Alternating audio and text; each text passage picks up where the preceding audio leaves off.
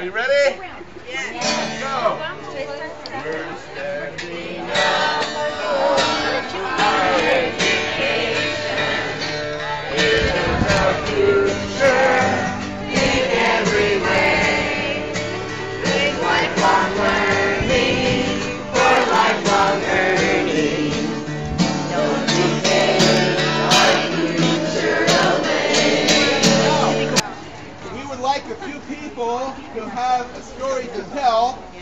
Their story to Miss Galatzan, who is not here at the moment. But, oh. her, but you and your story will be on YouTube. Yay! Woo! Yolanda. My name is Yolanda. I am a returning student here at West Valley. I can't believe that we're actually here trying to beg for education to be stayed. I'm Sandra, and I know I speak on behalf of the cosmetology department and also on the pharmacy tech department. I currently work at Walgreens as a full-time pharmacy tech. And a lot of my friends, a lot of my coworkers came to West Valley Occupational Center and they got their education at West Valley and they're really excellent technicians. They know what they're doing, they fill prescriptions, they type prescriptions, we decipher. All the doctors your scribbling and we do our job right. And we do it proud. Who knows people that have come to West Valley to get their technician license? Who knows somebody? Who wants their, their pharmacy to fill their prescriptions right? You know, pharmacy tech and cosmetology are only two of the jobs that you can get here. What other jobs, guys? What else? Automotive. There's no limit. This is the most important education for society because it trains for jobs. It is historically the most important cornerstone of education for society. You cannot dismiss it as if it is nothing.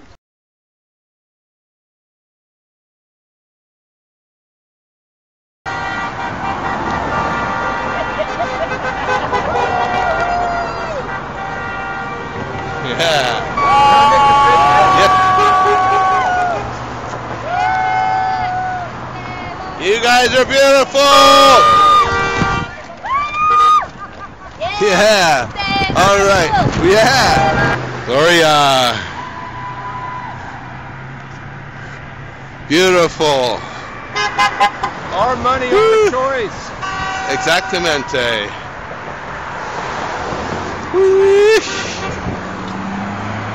Beautiful. Carlos.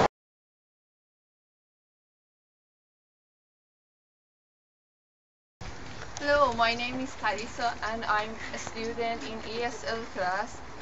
And uh, when I came here, I couldn't speak English, and now I learning uh, how to speak English, how to be effective, community communicated, and um, and to be to be active, active this community.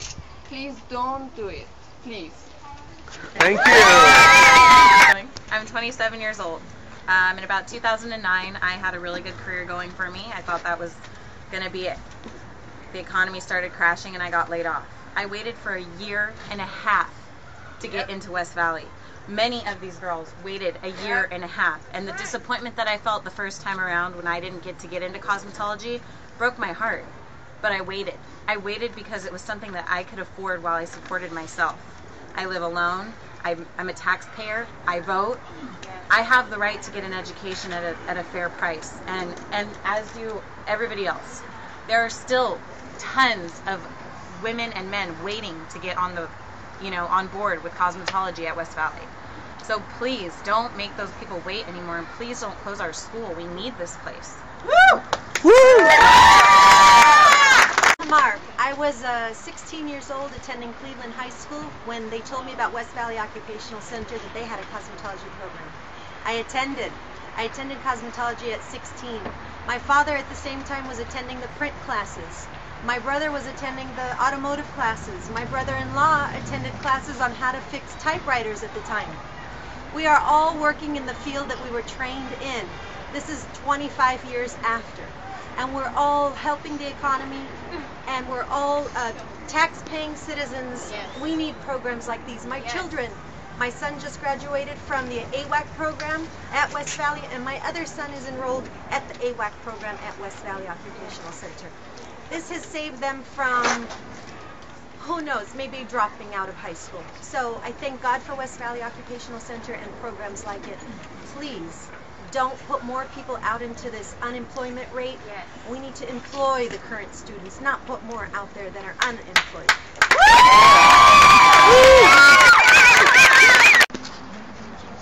My name is Jessica Holsey. I'm from cosmetology.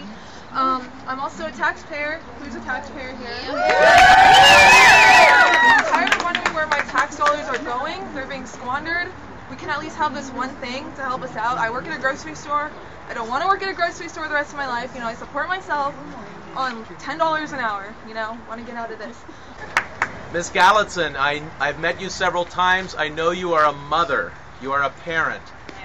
Why would you do something that hurts the community you were sworn to represent? Yes. That hurts mothers and fathers. These are the parents of our K 12 students.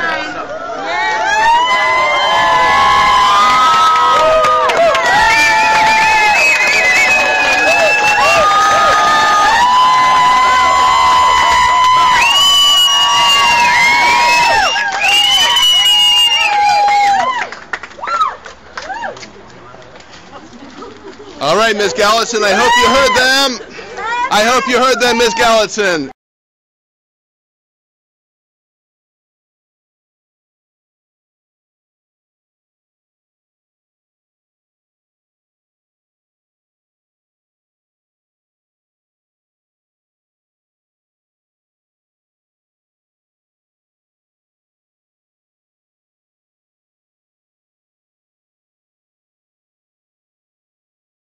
Some people have totally made tremendous sacrifices to be here today. I hope that this will pierce your heart to understand that we're not standing out here in the cold rain just for our own health, but we're standing here for our future, for our children, for our country. And I just pray that you will understand this, this plea from our hearts to yours. You're here to work for us. Do your job. Do what's best for your community. Do what's best for your country. Larry Bird.